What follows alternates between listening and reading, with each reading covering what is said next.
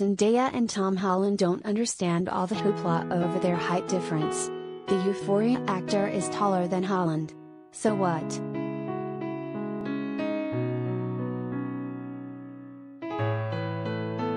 The Spider-Man, No Way Home stars addressed conservations surrounding their heights during an appearance on Sirius XM on Friday.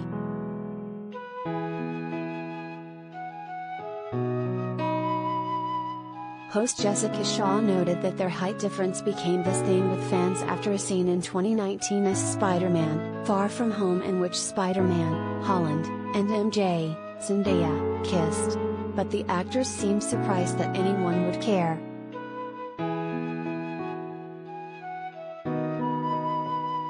Shaw then called it a misogynistic thing that so many people feel women should be shorter than men in heterosexual partnerships.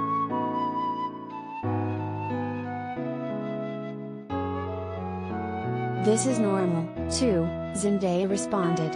My mom is taller than my dad.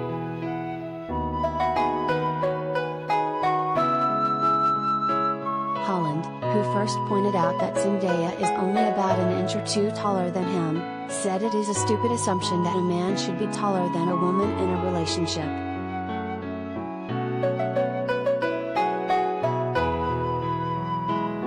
Pair was joined by Spider-Man co-star Jacob Batalon, who chimed in, It's like, not a weird thing for women to be tall.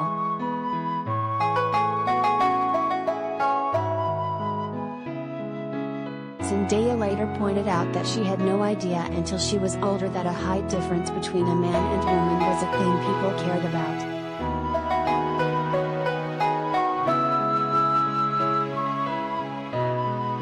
Parents were always that way, she said before adding, I have no construct of it.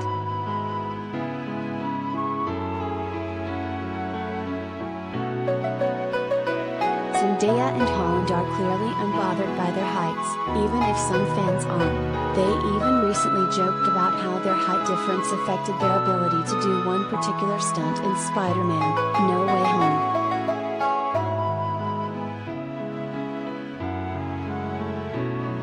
During an appearance on the Graham Norton show last week, Holland explained that the stunt involved him landing on a surface with Zendaya attached to him, but that Zendaya would land on the ground before him, causing his feet to swing from underneath him.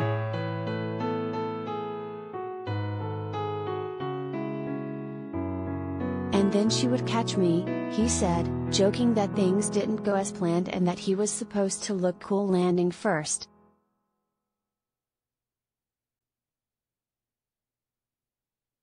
Holland also recently addressed the pair's long rumored romance, discussing their off screen relationship in a cover story for GQ's Men of the Year issue last month.